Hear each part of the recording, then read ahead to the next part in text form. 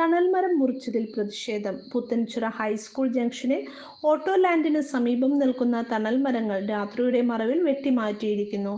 നാൽപ്പത് വർഷമായി പ്രവർത്തിക്കുന്ന ഓട്ടോറിക്ഷ സ്റ്റാൻഡും അവിടെ സ്ഥിതി ചെയ്യുന്ന തണൽമരങ്ങളും മാറ്റണമെന്ന് ആവശ്യപ്പെട്ടുകൊണ്ട് ബിൽഡിംഗ് ഉടമയുടെ പരാതി നിലനിൽക്കുന്നതാണ്.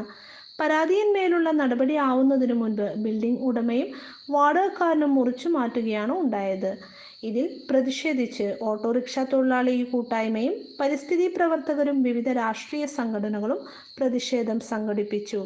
നേരത്തെ എല്ലാവരെയും സ്വാഗത പ്രസംഗികനും അധ്യക്ഷനും പരിചയപ്പെടുത്തിയ പരിചയപ്പെടുത്തേണ്ട കാര്യമൊന്നുമില്ല. ഈ നാടറിയുന്ന ഈ നാടിന്റെ ഒരു രാഷ്ട്രീയ പ്രതിഷേധ പരിപാടിയിൽ M M Naushad V N Nadeer T N Sajeevan T P Parameswaran Namboothiri M P Soni Manoj I S Sunilkumar എന്നിവർ സംസാരിച്ചു.